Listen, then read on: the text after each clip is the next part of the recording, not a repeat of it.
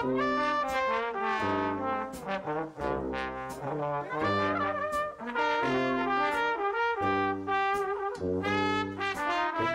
mi sa narcisima e, smo e, doživjeli osjećaje koje nikad prije nismo doživjeli. I.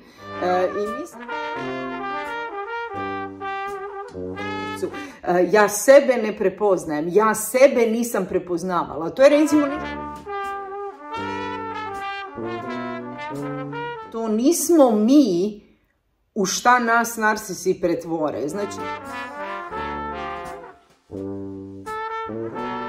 to uopće nisu naši osjećaji. To je neko isprovocirano stanje, isprovocirano manipulacijom, a sa ciljem stvaranja nekog nemira i neke drame. Ono...